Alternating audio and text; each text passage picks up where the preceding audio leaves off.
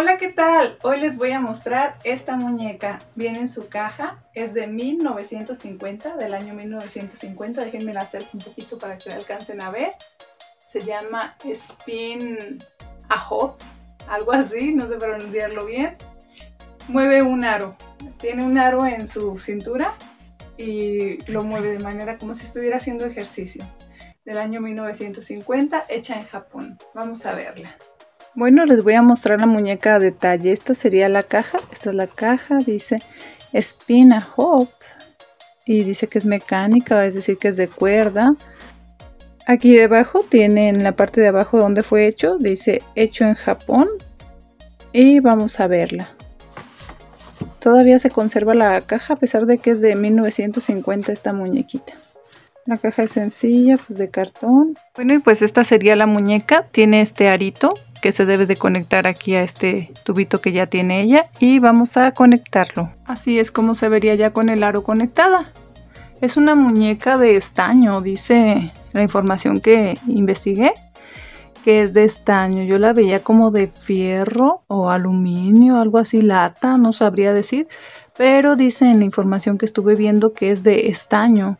Como se puede ver, tiene unos zapatitos muy, muy coloridos, se me hacen como estilo de payasita un pantalón a cuadros verde con rojo, una blusa pintada en, el fierro, en el estaño, con algunas florecitas ahí de algunos colorcitos, es como una camisa, tiene sus manitas también de estaño, tiene cabello, una cara así muy, muy curiosita, su cabello y trae una colita.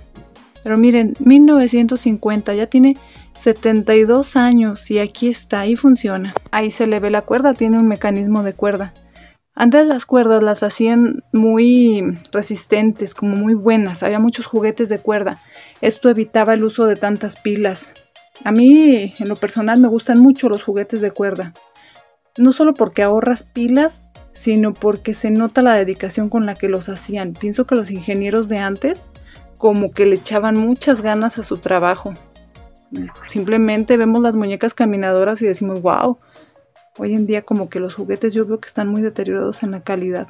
Bueno, pues vamos a verla funcionar. Bueno, ahí se puede ver funcionando. Funciona súper rápido. Tiene que tener las manos arriba para que pueda girar. Gira rápido, rápido, bien rapidísimo. Y todo depende de la cuerda que se le dé como les decía, funciona rápido. Todo tiene que ver con la cuerda.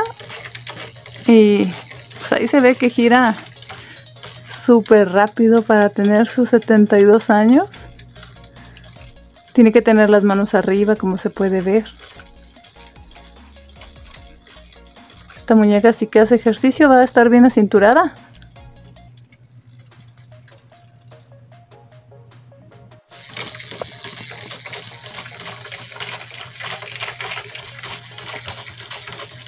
Vean qué fuerza.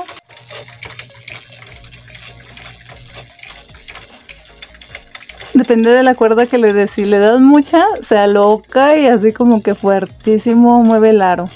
Y si le dan poca, pues como que lo, lo mueve de manera más, pues más disminuida. Más lento. Esa sería la muñeca. Me parece muy bonita. Y aprovechando que casi no tengo información sobre esta muñeca, hoy también les voy a mostrar mis gatos. A petición de una suscriptora, Susana Duarte escribió en el video de la muñeca canadiense que si podía mostrar los gatos que tenía y hoy quiero mostrárselos. Entonces ella sería la muñeca y ahora vamos a pasar a los gatos. A comenzar por Silvestre.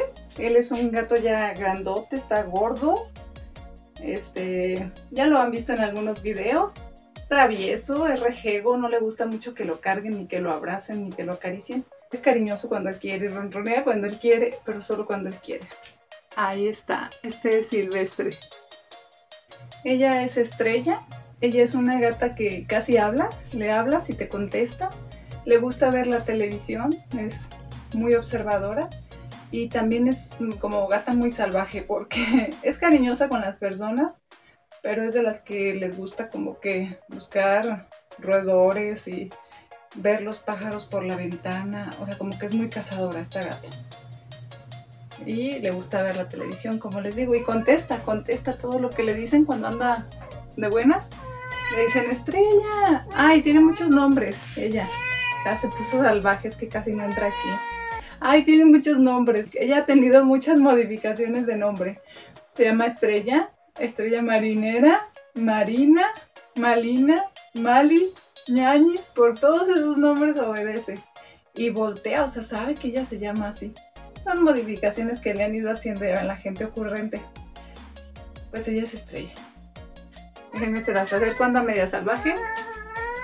Mari, Mari, Mari, ¿qué tienes? Ella es estrella.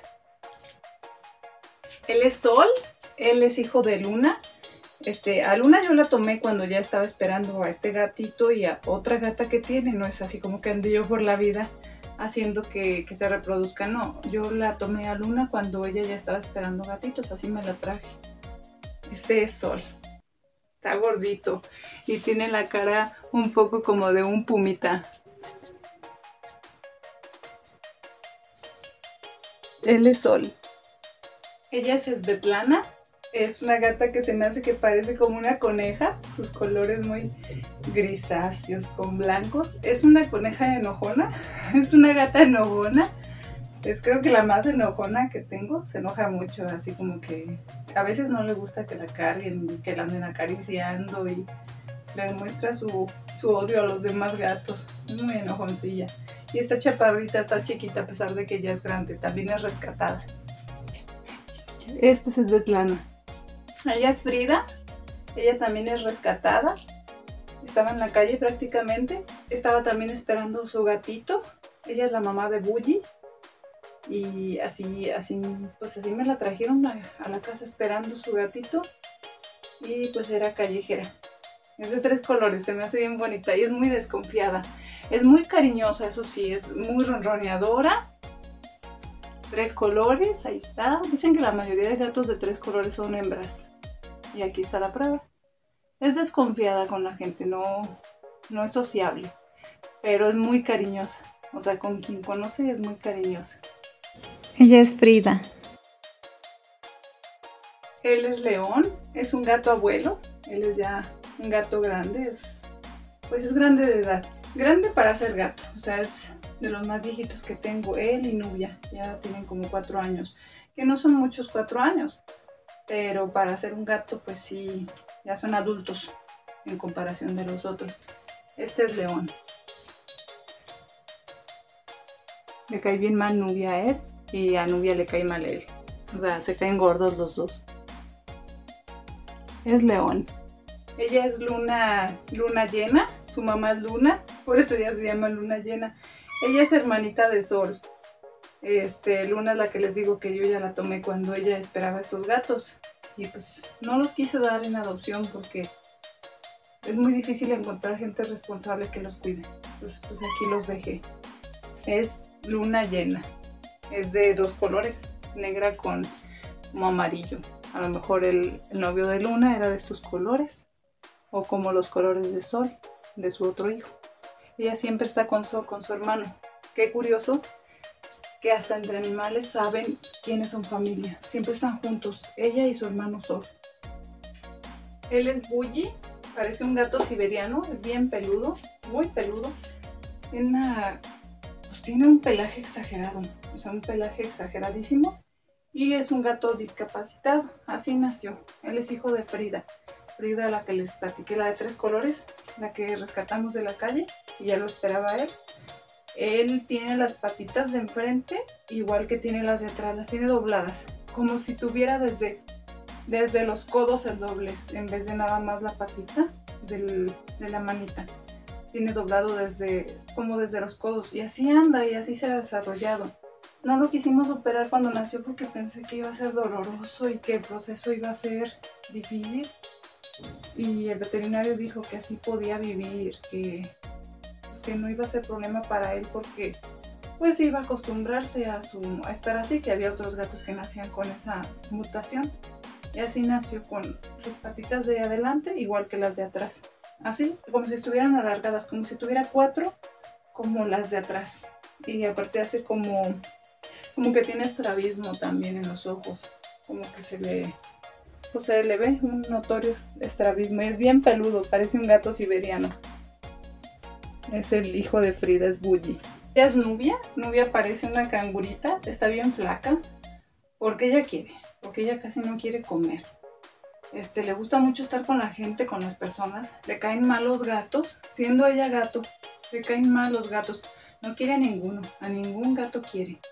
Y ella es tan viejita como León o un poquito más viejita. Fue la primera gata que tuvo Nubia. Nos despedimos de ustedes, no sin antes agradecer el favor de su atención. Gracias por haber visto este video hasta el final. No olvides darle like, activar la campanita de notificaciones y suscribirte, es gratis.